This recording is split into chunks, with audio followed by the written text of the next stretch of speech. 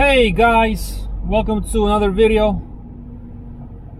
Stuck in a mild traffic jam.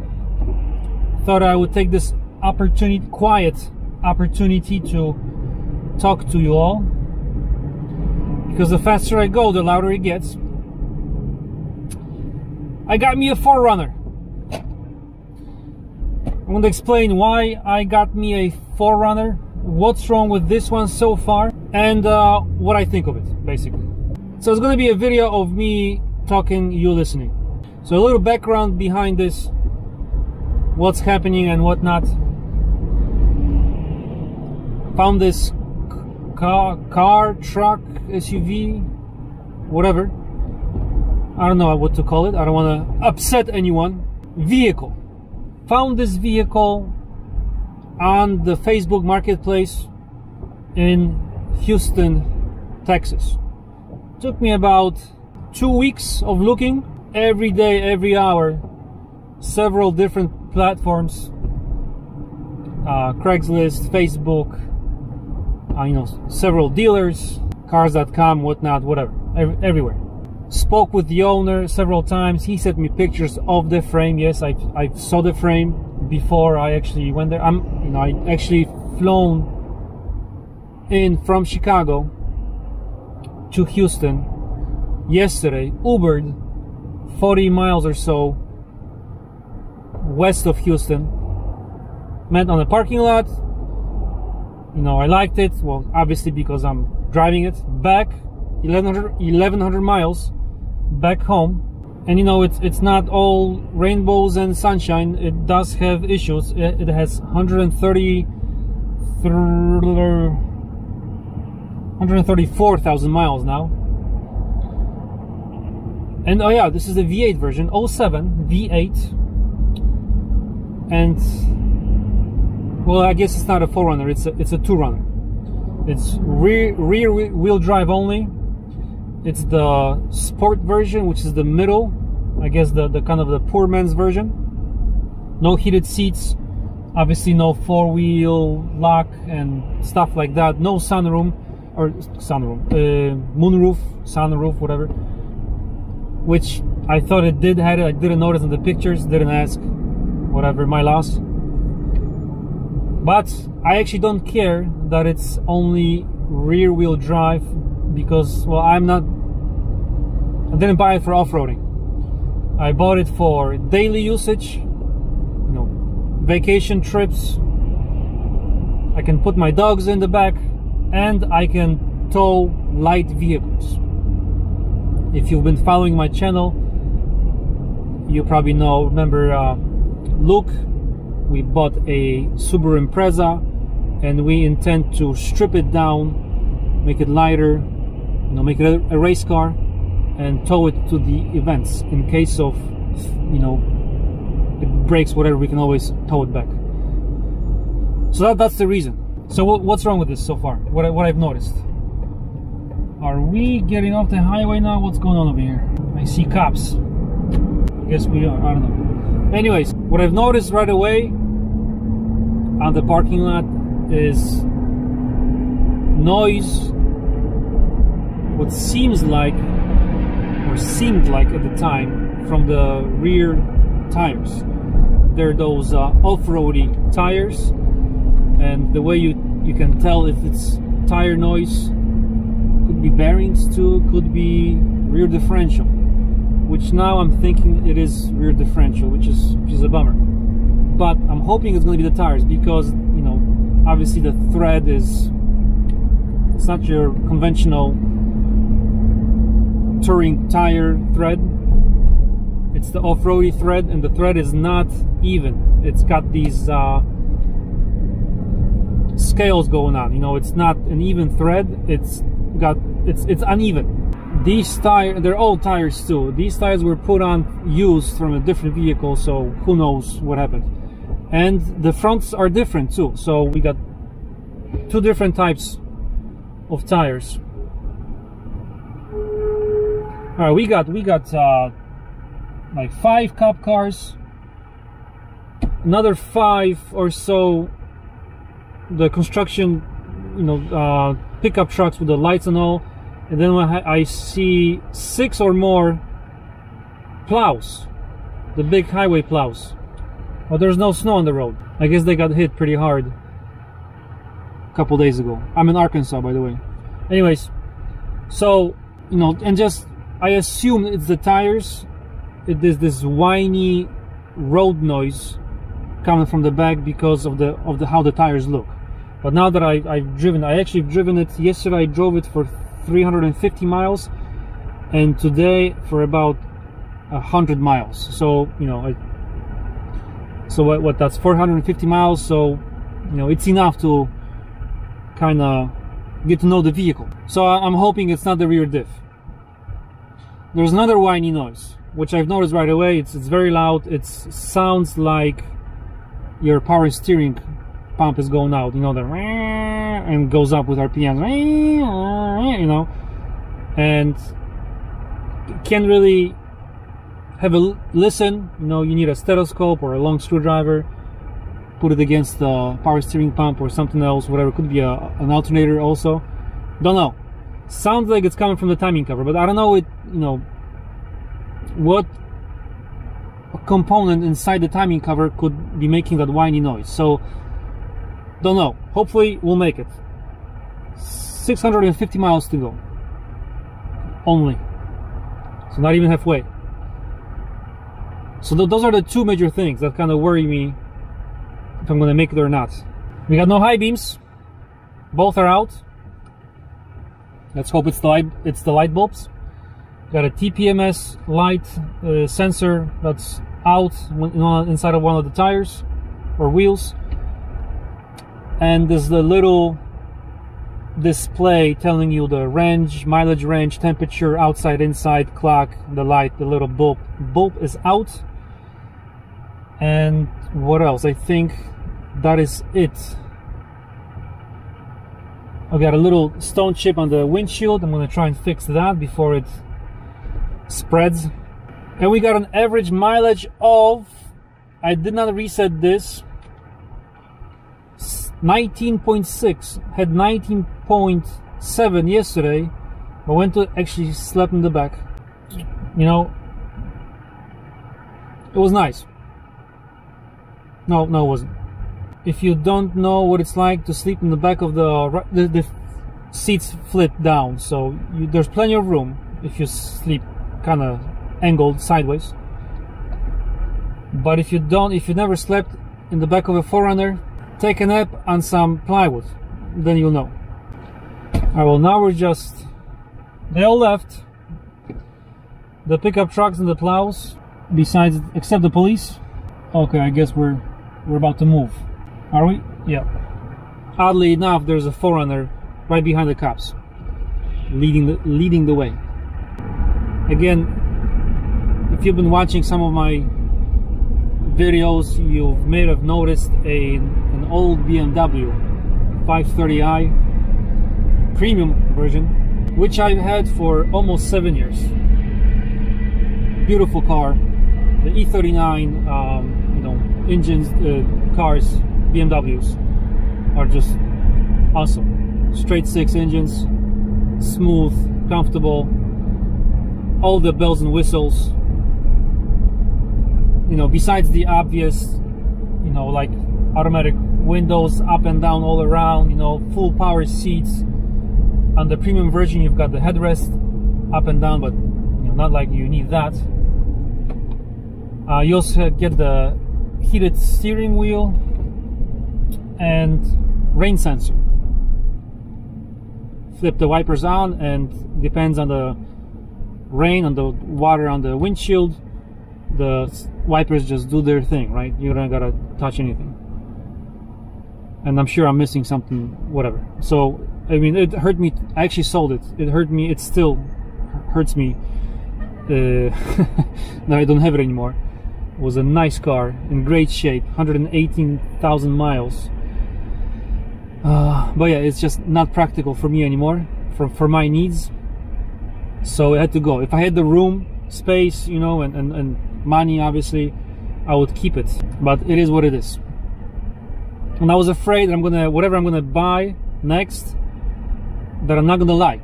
and I'm just gonna be pissed at myself for you know selling the BMW. But this is my first ever SUV, and I like it. I love it. It's it's awesome. Drivability is surprisingly surprisingly not SUV-ish, if you kind of get what I'm saying. So this version, the sport version, has the hydraulic suspension. I forget there's a name for it. I, I, I forget. Literally, there is there's fluid inside the shock. There's lines going across the frame, and you got some solenoids or some something along the frame, and whatever it goes. It it equates to a softer ride, especially on the highway, and it it shows. It for, maybe you guys, the 4Runner guys, can tell me. I did drive a 2020 4Runner V6, obviously. They only made the V8s from 03 to 09, and the VVT was on the 05 to 09. So this is the 07 V8 with VVT. So it has 200 and 260 some some horsepower and 305 maybe more uh, uh, torque so so that, that's the whole reason you know it's it's the I guess the the torquey the most torquey 4Runner you'll ever get I guess.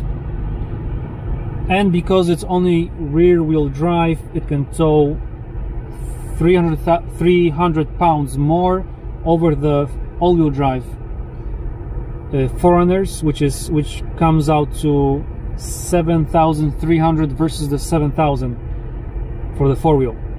So that, so that's a plus. Not gonna probably need it, but you know, always good to have room.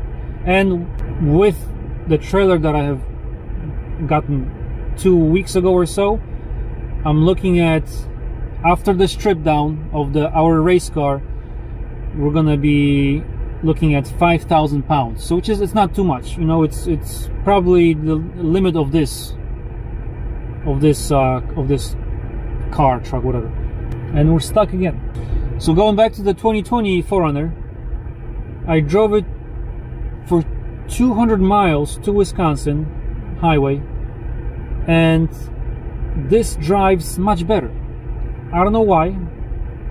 On different tires, front and back, you know bad tires in the rear but it just wants to go straight.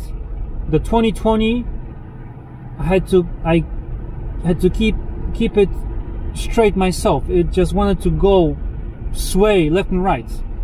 Did not want to go straight. It, it was it's kind of tiring you know um, don't know what it is. Maybe you guys can tell me what's what's what's with that you know? Is it the, the tires and stock stock configuration no modifications to anything whatsoever. Stock tires.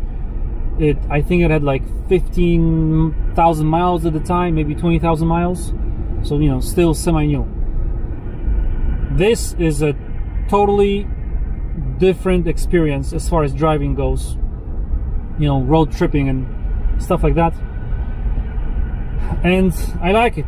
Can't say that I don't. The seating position is awesome I can adjust the steering wheel tilt and then do the you know this back and forth.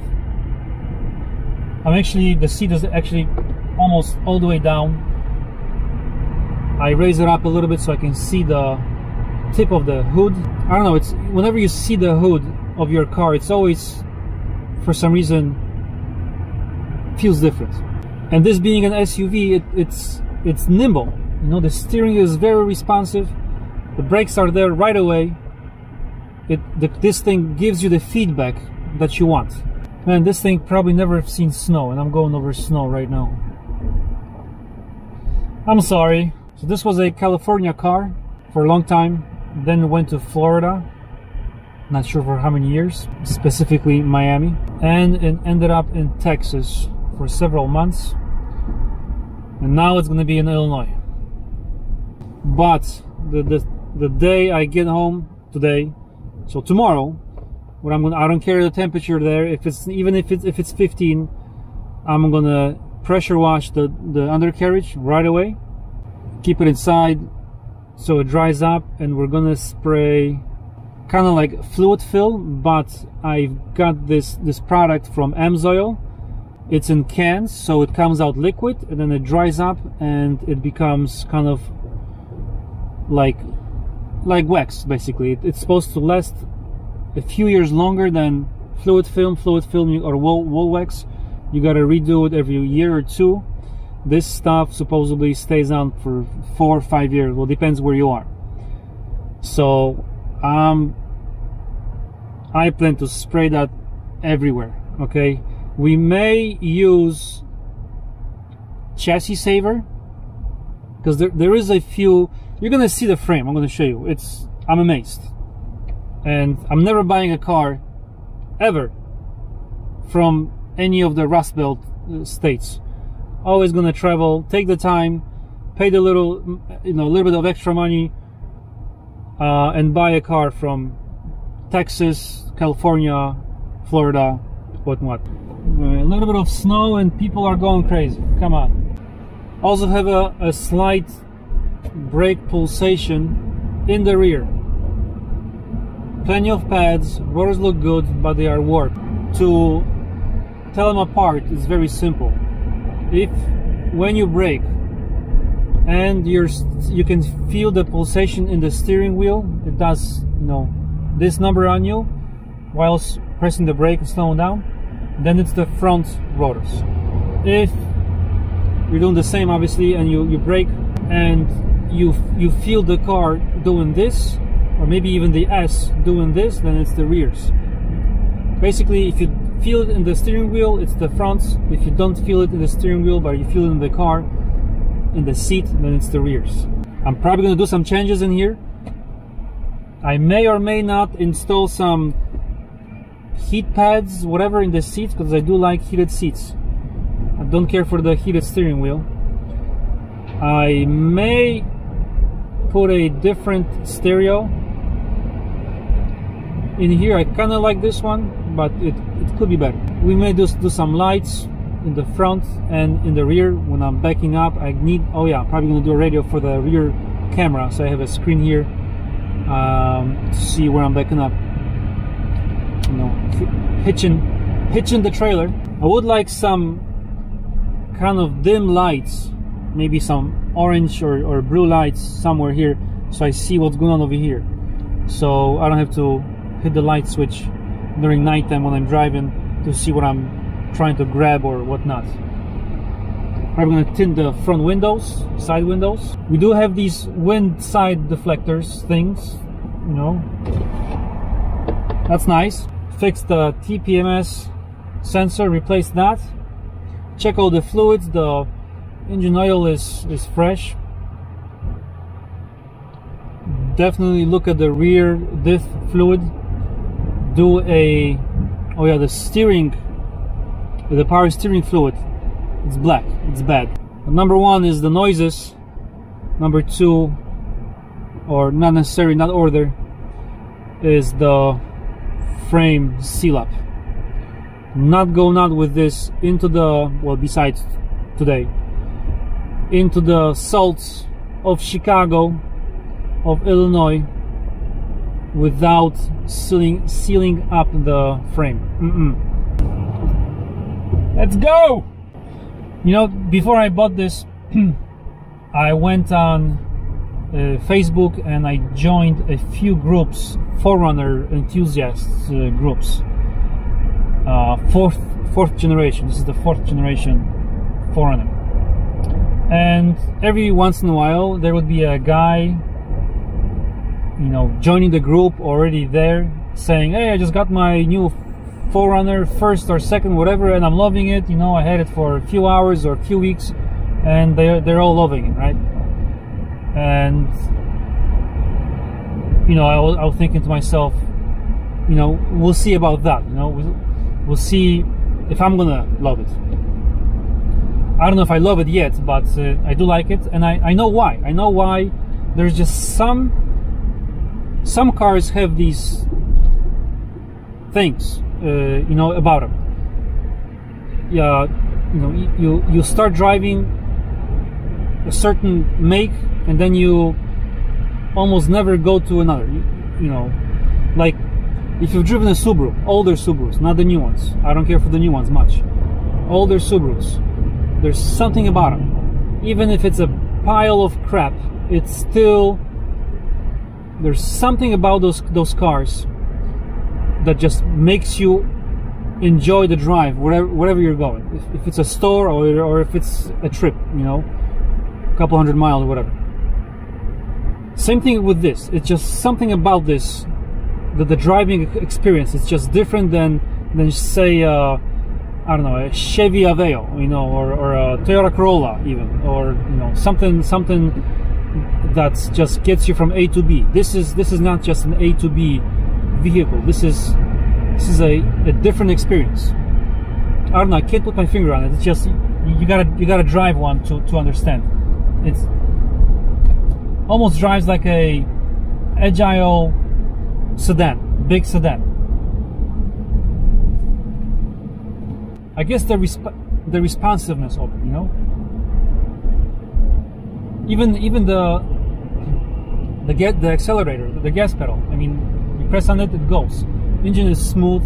Like I said, braking right away.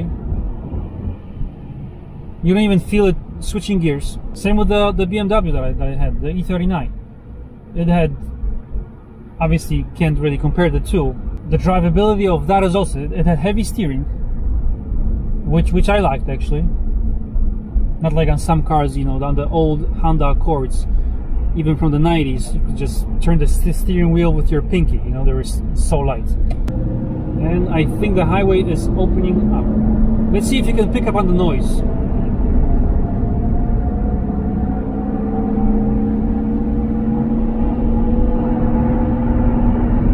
you hear the whine?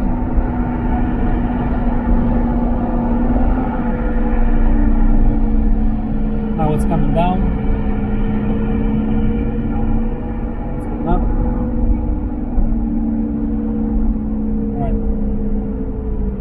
Get off the highway. Oh, you probably don't hear it. I hear it.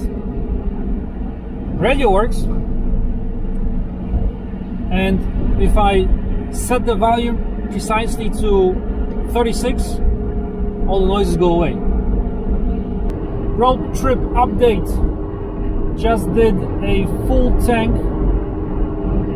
Just driving, no idling. It was 19.6 versus 16 something with uh, overnight idling. So doing 19.6 highway miles. It's not too bad, gotta say.